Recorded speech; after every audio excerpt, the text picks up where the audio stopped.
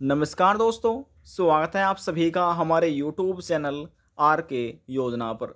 आप सभी पेंशन धारकों के लिए लेटेस्ट न्यूज़, ताज़ा अपडेट एक बार फिर से जानकारी लेकर हाजिर हो चुके हैं। सरकार ने इस तारीख में इतने वर्धवस्था पेंशन धारकों को और इतने दिव्यांग व्यक्तियों को और इतने ही विधवा महिलाओं को पेंशन का लाभ दिया है। किस किस तारीख में सरकार ने पेंशन को ट्रांसफ़र किया है, संपूर्ण जानकारी डिटेल वाइज में इस वीडियो के माध्यम से आपको देने वाले हैं। वीडियो की शुरुआत करने से पहले हमारा आपसे निवेदन है, यदि आप हमारे चैनल पर पहली बार हैं तो चैनल को सब्सक्राइब कर लीजिएगा। साथ ही दोस्तों, बेल आइकन के बटन को प्रेस करना ना भूलें, ताकि जो हमारी वीडियो का नोटिफिकेशन है, वह सबसे पहले आपको प्राप्त हो और आप सबसे पहले ही उसका लाभ उठा सके।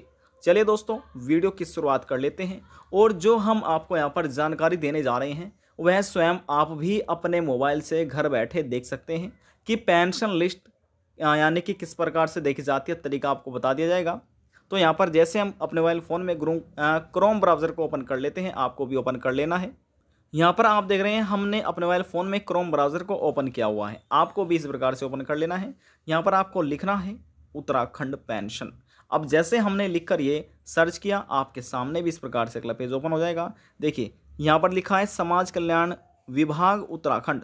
उत्तराखंड गवर्नमेंट पोर्टल तो यहाँ पर जैसे हम इस पर क्लिक करते हैं, क्योंकि देखिए ये एक ऑफिशियल पोर्टल है, राज्य सरकार द्वारा चला गया पोर्टल है तो हम सीधे आपको लेकर चलते हैं होम पर। अब जैसे हमने होम पर क्लिक किया, हमारे सामने इस प्रकार से अगला पेज ओपन हो चुका है, आपको नीचे आना है और क्लिक करना है नवीनतम अपडेट यानी कि न्यू अपडेट अब हमने इस पर क्लिक किया, हमारे सामने इस प्रकार से अगला पेज ओपन हो चुका है।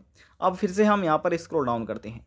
देखिए, आप यहाँ पर देख सकते हैं कि जो पेंशन राशि दी गई है किन किन ज़िलों में ट्रांसफ़र किया गया उत्तराखंड ज़िले में, यानी कि उत्तराखंड राज्य के ज़िले में यहाँ पर पेंशन ट्रांसफ़र की गई है। देखिए, यहाँ पर देखिए, पहले यहाँ पर पेंशन ट्रांसफ़र की थी पंद्रह मार्च दो हज़ार तेईस। लेटेस्ट न्यूज़ है आप सही पेंशन धारकों के लिए। यहाँ पर जो लाभ दिया गया है, जनवरी से मार्च महीने की पेंशन राशि दी गई लाभार्थियों को, वह एक लाख सैंतीस हज़ार चार सौ तिरासी। जो वर्दवस्था पेंशन धारक थे हरिद्वार ज़िले के, उनको ये लाभ दिया गया है। अब बात कर लेते हैं फिर से यहाँ पर देखिए, पंद्रह मार्च दो हज़ार तेईस। इस बार जो पेंशन राशि दी गई है, वह विधवा महिलाओं को दी गई है। यानी कि देखिए, इकतीस हज़ार छः सौ सतहत्तर वो विधवा महिलाएँ थी देहरादून ज़िले की, जिनको ये लाभ दिया गया है। फिर से देखिए, पंद्रह मार्च दो हज़ार तेईस है। जनवरी टू मार्च महीने की पेंशन राशि दी गई है, भुगतान किया गया है। यानी कि चौदह हज़ार छः सौ अस्सी जो डिसेबल पेंशन धारक है डिसेबिलिटी पेंशन का लाभ ले जैसे कि यानी कि दिव्यांग पेंशन योजना के लाभार्थी हो सकते हैं या फिर कुष्ठ अवस्था पेंशन धारक हो सकते हैं तो उनको हरिद्वार ज़िले में पेंशन राशि दी गई। जितने भी हरिद्वार ज़िले के डिसेबिलिटी पेंशन धारक थे, उनको ये लाभ दिया गया है पंद्रह मार्च में ही। और फिर से आप देखिए, पंद्रह मार्च दो हज़ार तेईस को जनवरी से मार्च महीने की पेंशन राशि ट्रांसफ़र की गई है। वह छब्बीस हज़ार एक सौ छियासी चमोली ज़िले के पेंशन धारक थे वर्दवस्था उनको ये लाभ दिया गया है। अब फिर से पंद्रह मार्च दो हज़ार तेईस में जो पेंशन राशि दी गई है, यानी कि जनवरी, फरवरी और मार्च महीने की, भुगतान किया गया है। कितने लाभार्थी दी गई है, देखिए, यहाँ पर आप देखिए, आपको संख्या यहाँ पर आपको नज़र आ जाएगी, इकतालीस हज़ार पाँच सौ बीस, जो वर्धवस्था पेंशन धारक थे पोहड़ी गढ़वाल के, उनको ये पेंशन का लाभ दिया गया है। यानी कि पंद्रह तारीख में इन ज़िलों में पेंशन को ट्रांसफ़र किया गया है। इतनी यहाँ पर लाभार्थियों की संख्या आप देखिए यहाँ पर आप महीना देखिए, यानी कि जनवरी, फरवरी, मार्च महीने की हैज़ बिन प्रोसीड भुगतान किया गया है।